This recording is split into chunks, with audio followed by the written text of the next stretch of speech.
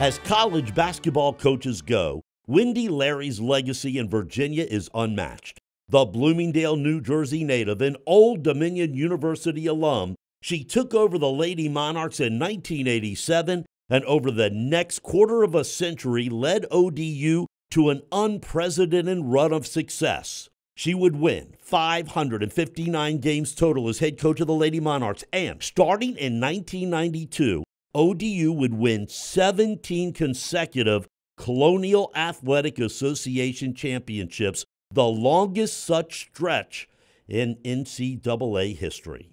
20 times, Larry's ODU teams would participate in the NCAA tournament, advancing to the Final Four and championship game in 1997. In total, Larry registered 608 wins over 28 seasons and was named Coach of the Year in three different leagues, including eight times in the CAA.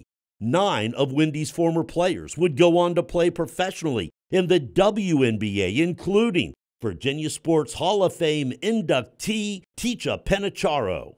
Active in the Hampton Roads community with organizations such as Habitat for Humanity, and Race for the Cure in Hampton Roads, she was named the Hampton Roads Professional Woman of the Year in 2000.